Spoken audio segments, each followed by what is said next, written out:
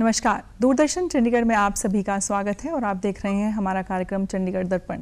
अक्सर हम ये बात करते हैं या सुनते हैं कि वित्तीय संस्थाओं से संतुष्ट ना होने पर इसका कोई समाधान नहीं है, हम कहीं शिकायत नहीं कर सकते। लेकिन ऐसा नहीं है। लोकपाल योजना एक ऐसी स्कीम है जिसके तहत आप शिकायत भी कर सकते हैं और उसका आप लाभ भी उठा सकते हैं। तो क्या ये योजना है? ये कब शुरू हुई? इसका महत्व क्या है? इसी पर विस्तार से जानकारी देने के लिए हमारे साथ स्टूडियो में खास मेहमान हैं राजीव द्विवेदी जी जो रिज़र्व बैंक ऑफ़ लोकपाल हैं। तो सर आपका स्टूडियो में स्वागत है। धन्यवाद मैडम। आ, सबसे पहले सर मैं आपसे यही जानना चाहूँगी कि लोकपाल योजना आखिर है क्या? इसका महत्व क्या है और ये कब शुरू हुई? भारतीय रिज़र्व बैंक का ये प्रयास रहा है कि उसके द्वारा जो रेगुलेटेड एंटिटीज़ हैं जिसमें बैंक्स हैं नॉन बैंकिंग फाइनेंशियल कंपनीज़ हैं पेमेंट सिस्टम प्रोवाइडर्स हैं जी। इनके ग्राहकों को ये संस्थाएँ संतोषजनक सेवा प्रदान करें। जी। ये संस्थाएँ अगर अपने ग्राहकों को संतोषजनक सेवा प्रदान नहीं करती जी। तो लोकपाल योजना एक मंच प्रदान करता है ऐसे ग्राहकों को कि वे लोकपाल के पास आकर अपनी शिकायत दर्ज करा सकें। जी। थोड़ा सा उसके बारे में और हम जानकारी देना चाहेंगे कि एक व्यक्ति जो अपने बैंक से की सेवा से संतुष्ट नहीं है ये ये सेवा में असंतोष जो है बैंक के द्वारा चार्ज किए गए मूल्य के बारे में हो सकती है कॉस्ट के बारे में हो सकती है। इंटरेस्ट ज़्यादा चार्ज कर लिया है उसके बारे में हो सकती है। समय से सेवा नहीं प्रदान की है उसके बारे में हो सकती है। जी। तो इन सभी इशू पर अगर कोई ग्राहक असंतुष्ट है तो भारतीय रिज़र्व बैंक की लोकपाल योजना या ओम्बड्समैन स्कीम के अंतर्गत वह अपनी शिकायत दर्ज करा सकता है। जी। भारतीय रिज़र्व बैंक ने काफ़ी समय से यह एहसास रखा है कि ग्राहकों को अगर संतोषजनक सेवा प्रदान की जाएगी तो बैंकिंग क्षेत्र पर वित्तीय क्षेत्र पर लोगों का ट्रस्ट बढ़ेगा। जी। तो उन्नीस में पहली बार बैंकिंग लोकपाल योजना भारत में लागू की गई। जी। जैसे जैसे वित्तीय क्षेत्र ने विकास किया बैंक्स ने नए प्रोडक्ट्स लॉन्च किए non banking financial companies market में आई। बिल्कुल। तो उसको देखते हुए इस लोकपाल योजना में समय समय पर काफ़ी बदलाव किए गए उनको चेंज किया गया। वर्तमान में जो लोकपाल योजना लागू है वो 12 नवंबर 19 2021 से लागू है। जी। इसको रिज़र्व बैंक एकीकृत लोकपाल योजना या reserve bank integrated ombudsman scheme बोलते हैं। जी। इसमें कोई भी ग्राहक जो बैंक की सेवा से असंतुष्ट है जी। जो किसी गैर बैंकिंग वित्तीय कंपनी की सेवा से असंतुष्ट है जी। या पेमेंट सिस्टम प्रोवाइडर की सेवा से असंतुष्ट है वह भारतीय रिज़र्व बैंक के पास अपनी कंप्लेन लॉन्च कर सकता है अपनी शिकायत दर्ज करा सकता है। जी। दो या तीन और महत्वपूर्ण बातें हैं इस योजना के बारे में। ये योजना फ्री ऑफ़ कॉस्ट है। इसका मतलब ये है कि रिज़र्व बैंक इस योजना के लिए शिकायतकर्ता से कोई भी फ़ी चार्ज नहीं करता। दूसरा महत्वपूर्ण बिंदु है कि इस योजना के अंतर्गत शिकायतकर्ता सीधे रिज़र्व बैंक के पास आकर शिकायत कर सकता है। उसको किसी मध्यस्थ की आवश्यकता नहीं है। उसको बीच में किसी एजेंट की आवश्यकता नहीं है। और एक तीसरा महत्वपूर्ण विषय ये है कि ये एक अल्टरनेट ग्रीवियांस रिड्रेस मैकेनिज्म है। जी। जिसको हम ये बोल सकते हैं ये एक वैकल्पिक योजना है जिसके में आप आकर शिकायत दर्ज करा सकते हैं। जी। इन short if I say the ombudsman scheme is a cost free scheme available to customers of bank non banking financial companies and payment system service provider ji This is an alternate grievance mechanism, and this allows customers to approach Reserve Bank of India directly. जी आ, तो sir Lokpal योजना के तहत कौन कौन शिकायत कर सकता है Anybody, you can complain. आप complain कर सकते हो. जी ऐसा कोई भी व्यक्ति जो भारतीय रिज़र्व बैंक द्वारा रेगुलेटेड एंटिटीज का ग्राहक है जी उसने बैंकिंग इस एंटिटी से कभी सेवा प्राप्त की है और उस सेवा से वो संतुष्ट नहीं है। जी। तो वो रिज़र्व बैंक के पास आकर अपनी शिकायत दर्ज करा सकता है। ये ज़रूरी होना चाहिए कि जिस संस्था के खिलाफ आप शिकायत दर्ज करा रहे हैं वो रिज़र्व बैंक द्वारा रेगुलेटेड है। इसमें बैंक शामिल हैं नॉन बैंकिंग फाइनेंशियल कंपनीज़ शामिल हैं। और इस योजना को और सरल रिज़र्व बैंक ने इस तरह से बनाया है कि अगर कोई ग्राहक डायरेक्टली कंप्लेन नहीं कर सकता तो उसके बिहाफ पर एक थर्ड पर्सन भी कंप्लेन करा सकता है। जी। In short very simple complaint mechanism complaint redressal mechanism is available under the Lokpal scheme जी। आ, सर अगर शिकायत करने के बाद शिकायत का क्या हुआ वो कहाँ तक पहुँची? अगर इसकी जानकारी लेनी हो तो वो कहाँ से ले सकते हैं? या कोई एक समय सीमा कोई निहित है कि जिसके तहत कि इतने समय में उनकी समस्या का समाधान होगा या वहाँ पर जो सोल्यूशन उसे मिल जाएगा? देखिए जैसे अभी हमने पहले बताया कि ये जो ग्राहक हैं ये भारतीय रिज़र्व बैंक के रेगुलेटेड एंटिटीज़ के ग्राहक होने चाहिए। जी। और अगर आप किसी भी ग्राहक या किसी भी सेवा से असंतुष्ट हैं तो ये आपसे अपेक्षा की जाती है कि पहले आप उस संस्था के पास जाएँगे। जी। और अपनी कंप्लेन को वहाँ पर दर्ज कराएँगे। जी। अगर 30 दिन के भीतर वो संस्था आपकी शिकायत का उत्तर नहीं देती जी। या शिकायत का समाधान नहीं करती या समाधान किया है लेकिन आप उस समाधान से संतुष्ट नहीं हैं जी। तो ये सभी अवस्थाओं में आप हमारे रिज़र्व बैंक लोकपाल योजना के पास आकर कंप्लेन कर सकते हैं। एक बार ये स, ये शिकायत रिज़र्व बैंक के पास दर्ज हो गई या लोकपाल योजना के अंतर्गत दर्ज हो गई तो रिज़र्व बैंक का यह प्रयास रहता है कि उसको जल्द से जल्द उसको निपटान किया जाए ग्राहक की संतुष्टि के हिसाब से उसका निपटान किया जाए। जी। और अगर आप हमारे आंकड़े देखेंगे तो ये कोई भी शिकायत इनफाइनाइट टाइम के लिए बाकी नहीं रहती। जी। और इसका एक महत्वपूर्ण बिंदु ये भी है कि हर शिकायत का क्या क्या स्टेटस है। और उस पर क्या कार्रवाई करके क्या निर्णय लिया गया जी। ये दर्शकों को राइटिंग में या ग्राहकों को राइटिंग में बताया जाता है। जी। तो it's nearly at a time bound scheme where the customer can be aware what is being done on इस कंप्लेन उसकी कंप्लेन पर क्या कार्रवाई की जा रही है। जी। और वो इस बात से हमेशा निश्चिंत रह सकता है कि उसकी शिकायत पर फा, फाइनल डिसीज़न या अंतिम निर्णय क्या लिया गया है जी। उसका कम्युनिकेशन उसको अवश्य प्राप्त होगा। जी।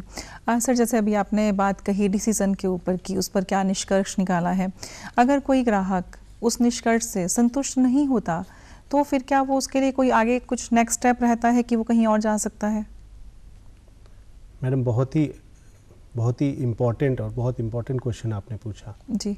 जैसा अभी हमने बताया कि this is an alternate grievance redressal mechanism आप पहले उस संस्था के पास जाइए जहाँ से आपने सेवा प्राप्त की है। बिल्कुल। रिज़र्व बैंक को अप्रोच करिए। रिज़र्व बैंक वस्तु स्थिति को देखते हुए निर्णय देगा। लोकपाल उसको वस्तु स्थिति को देखते हुए निर्णय देगा। जी। यदि आप इस निर्णय से संतुष्ट नहीं हैं हम्म।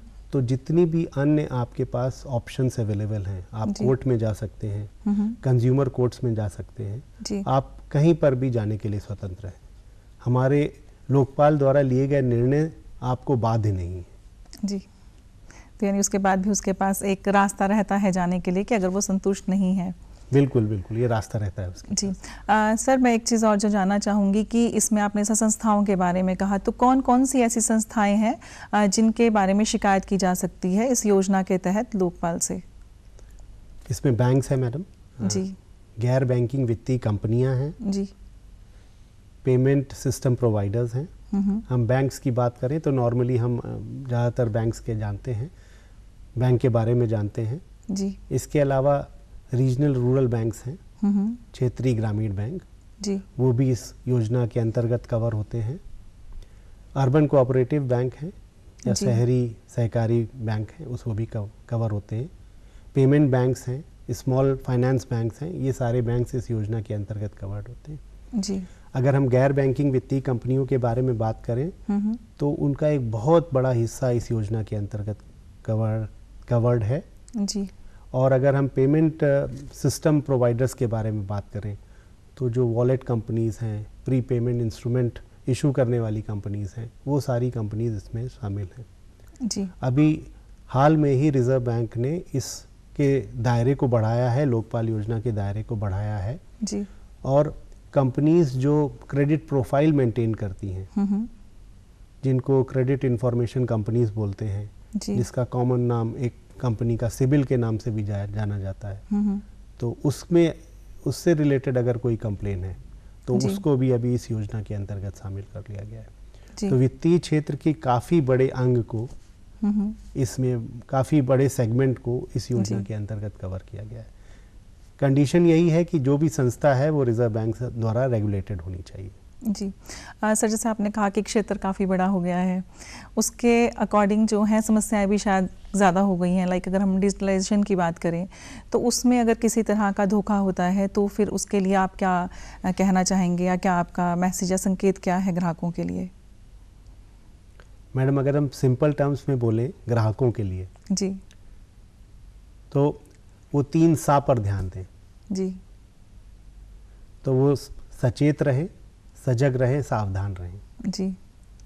अगर हम देखेंगे तो पिछले 20 साल में हम्म हम्म, वित्तीय क्षेत्र में काफ़ी बदलाव हुए। बिल्कुल। ग्राहकों की सुविधाओं के लिए काफ़ी सारी सर्विसेज़ या प्रोडक्ट्स लागू किए गए हैं मार्केट में आए हैं। हम्म हम्म, क्रेडिट कार्ड की बात कर लेते हैं। जी। एटीएम कार्ड की बात कर लेते हैं आज से 20 साल पहले। डेबिट कार्ड की बात कर लेते हैं। जी।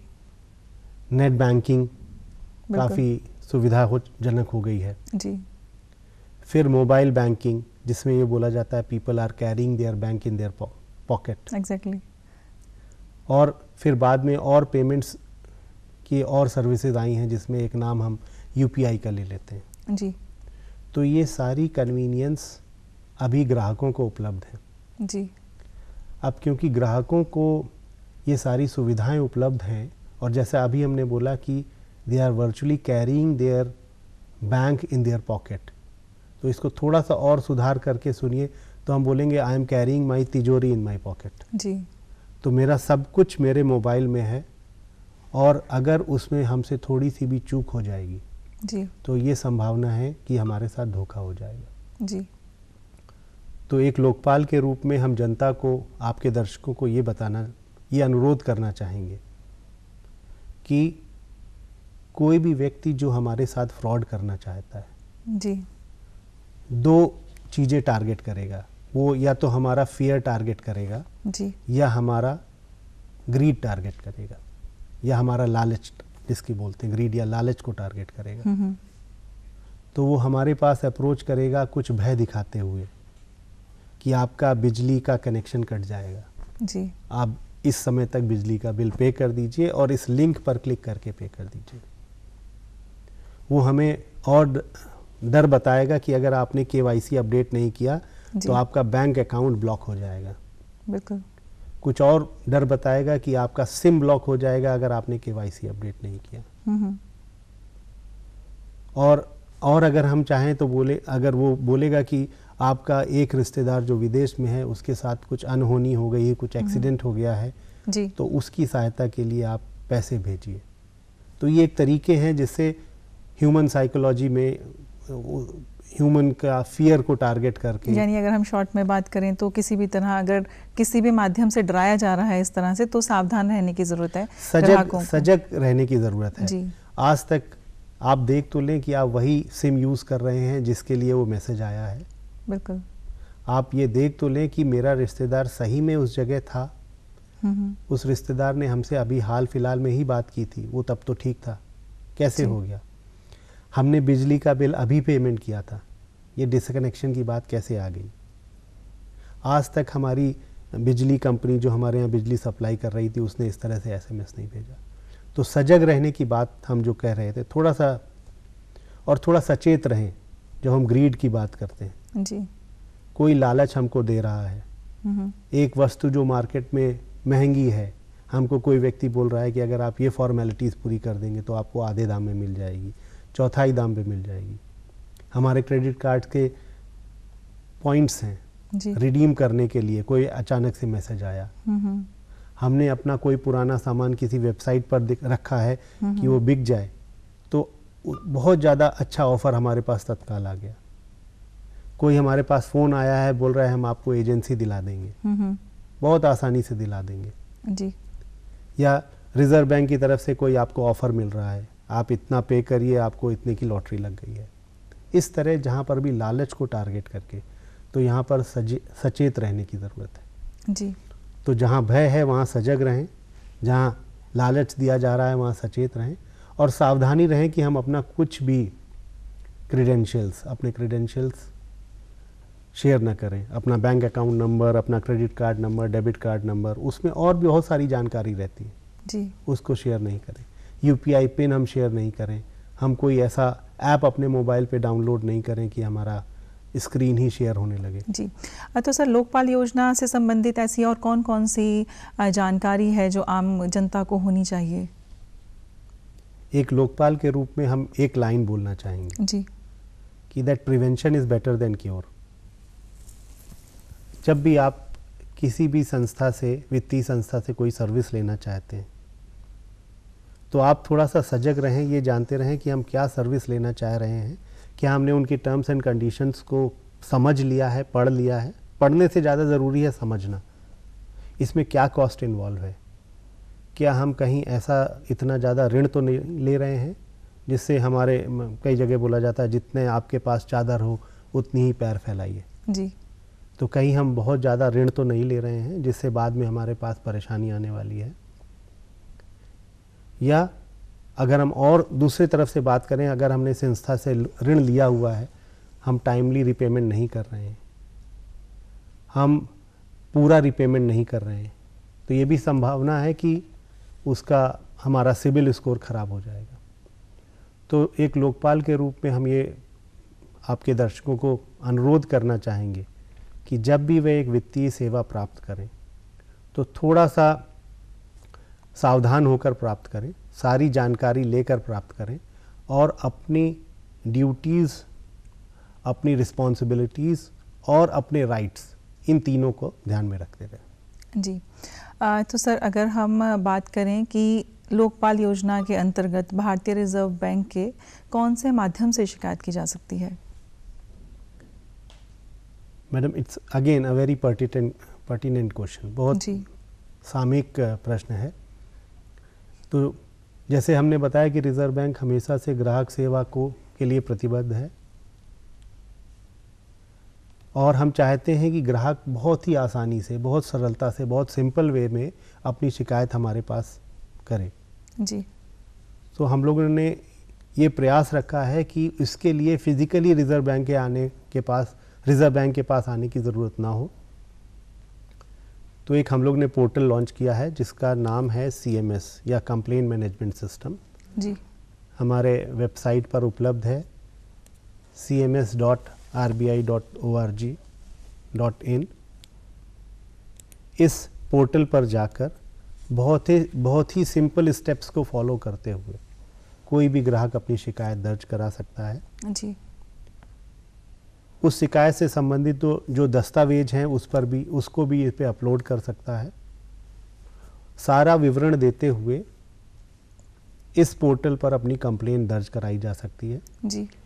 एक बहुत अच्छी बात इस पोर्टल की ये है कि जैसे ही आपकी कंप्लेन दर्ज होती है आपको उसके बाद एक नंबर मिल जाता है एक कंप्लेन नंबर मिल जाता है। मैडम आप जो पूछ रहे थे कि how to track a complaint मेरी कंप्लेन का क्या हुआ? तो एक बार आपने इस पोर्टल पर कंप्लेन लॉन्च कर दी आपको कंप्लेन नंबर मिल गया। जी। तो उस कंप्लेन नंबर के माध्यम से आप कंप्लेन का स्टेटस ट्रैक कर सकते हैं। जी। साथ ही रिज़र्व बैंक इस बात को लेकर भी सजग है कि हमारे देश के सारे लोग हो सकता है इंटरनेट का प्रयोग ना करते हों। जी। तो उनके लिए रिज़र्व बैंक ने बोला है कि आप फ़िज़िकल लेटर फ़िज़िकल फॉर्म में अपना लेटर रिज़र्व बैंक के पास भेज दें। जी।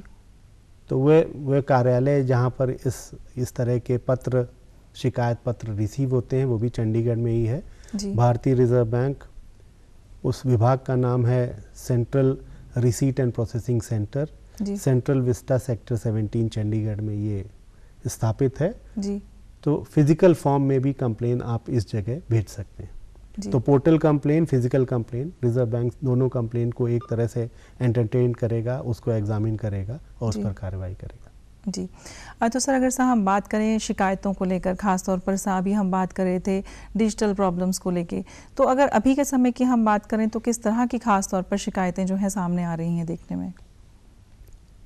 फिर हम वही रिपीट करेंगे या तो हमारा फियर टारगेट किया जा रहा है या हमारा ग्रीड टारगेट किया जा रहा है। जी। तो इसी दो कैटेगरीज में सारी कंप्लेंट्स जो अभी हमने बताई उसमें जी। के वाई सी नॉर्म्स अपडेट करने के लिए बैंक के पास से मैसेज ऐसा दर्शाया जाता है। जबकि केवाईसी नॉर्म्स या केवाईसी डॉक्यूमेंट्स अपडेट करने के लिए बैंक कभी भी मेल नहीं भेजता। वो आपको इंसिस्ट करता है कि फिजिकली आप वहाँ पर जाएँ। हाँ तो सर कोई इससे संबंधित कोई इमरजेंसी कोई नंबर हो या वेबसाइट पर कहाँ पर इससे संबंधित पूरी जानकारी मिलेगी या कंप्लेंट कहाँ पर किसी नंबर पर दर्ज करवाई जा सकती है या उसे जाकर ही वो कंप्लेंट करवानी होगी? मैडम दो हैं। अगर हमारे लोकपाल योजना के बारे में जानकारी चाहिए या अपनी दर्ज हुई शिकायत के बारे में स्टेटस चाहिए जी। तो भारतीय रिज़र्व बैंक का एक कॉन्टैक्ट सेंटर भी है जिसका नंबर एक तीन बार चार और आठ वन ट्रिपल फोर एट। जी। तो इस पर आप जानकारी कर सकते हैं। अगर आपने किसी बैंक के बारे में कंप्लेन करनी है तो बैंक का कॉन्टैक्ट नंबर भी बैंक की वेबसाइट पर है। जी।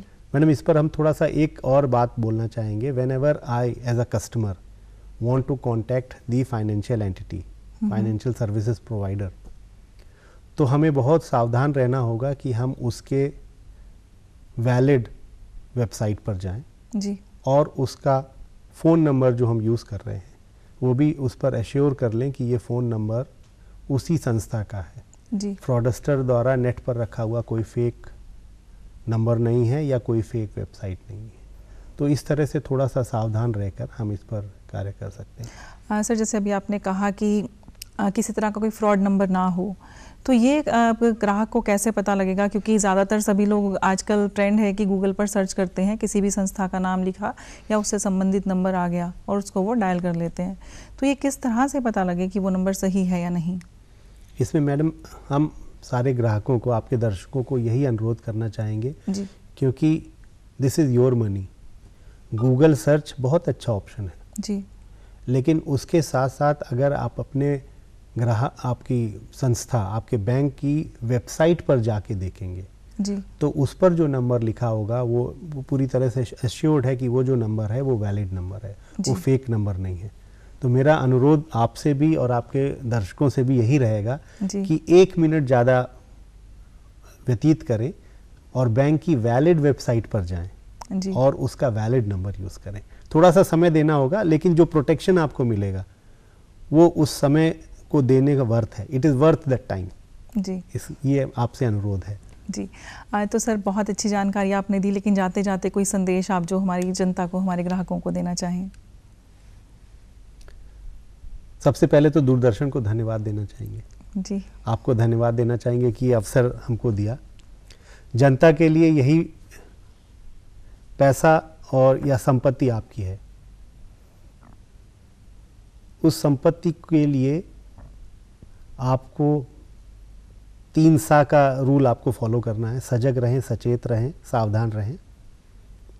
ये बात हमेशा याद रखें कि prevention is better than cure. तो आज हमारे हमारे द्वारा अपनाई गई सावधानी कल हमें ही बचाएगी। अगर फिर भी हमारे साथ इस तरह की अनहोनी घटना हो जाती है जाने अनजाने में हमने अपना ओटीपी शेयर कर दिया अपने कार्ड के डिटेल शेयर कर दिए यूपीआई का पिन शेयर कर दिया और हमारे साथ कुछ दुर्घटना हो गई है। जी। तो वे तुरंत अपने बैंक में अप्रोच करें। और जो भी कम्युनिकेशन या पेमेंट के चैनल्स हैं, उनको ब्लॉक कराएँ। अपना card debit card credit card UPI net banking mobile banking सब ब्लॉक कराएँ। बैंक के पास तत्काल एक कंप्लेन दें। और भारतीय सरकार ने, केंद्र सरकार ने भी एक नंबर दिया हुआ है, उसके पास भी आप अप्रोच कर सकते हैं। लॉ इन्फोर्समेंट एजेंसीज़ हैं पुलिस एजेंसीज़ हैं, उसके पास आप अप्रोच कर सकते हैं। जी।